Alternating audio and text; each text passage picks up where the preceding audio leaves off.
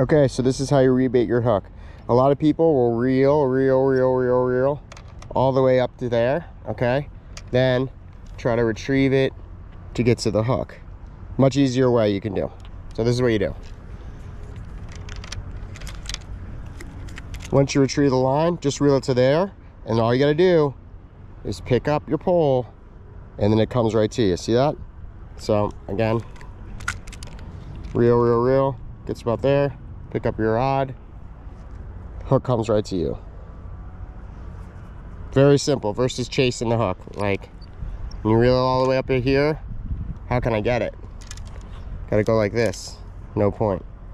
Versus, well, last time, very simple. So reeling it in. Once you get to about there, just raise your rod. Hook comes right to you.